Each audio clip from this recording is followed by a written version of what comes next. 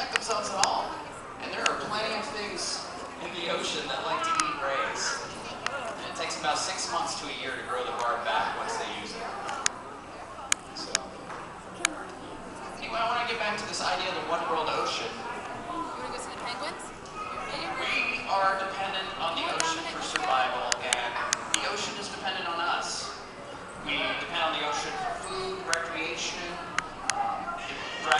shapes our coast, where a lot of people live, provides us with the majority of the oxygen that we breathe, and it affects our weather pattern. We, on the other hand, affect the ocean by what we take out of it and what we put back into it. Like the runoff from our drains that goes into our uh, waterways and our streams and then ends up in, uh, in the ocean.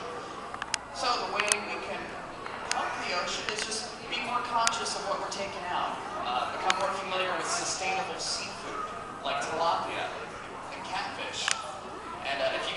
questions about sustainable seafood, we actually have a program here at the aquarium